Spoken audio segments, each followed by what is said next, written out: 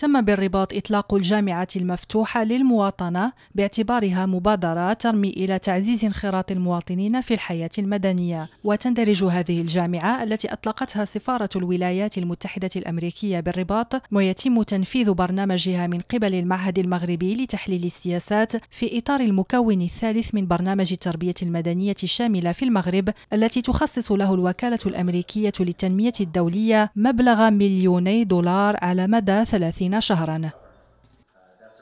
نطلق اليوم هنا في الرباط مشروع جديد بعنوان الجامعة المفتوحة للمواطنة من أجل تعزيز وتقوية العلاقات والارتباط بين المواطن المغرب المواطن المغربي ويعني الحكومة التي تمثله والمؤسسات التي تخدمه في كل المستويات محلية وطنية إقليمية.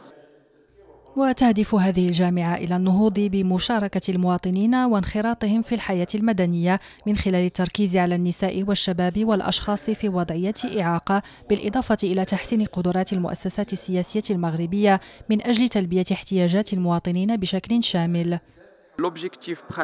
الهدف الأساس للجامعة المفتوحة للمواطنة يتمثل في تعزيز الحوار بين الأكاديميين وفاعلين من المجتمع المدني وصناع القرار من خلال إطلاق تفكير مشترك كفيل بتحسين التربية على المواطنة بالمغرب.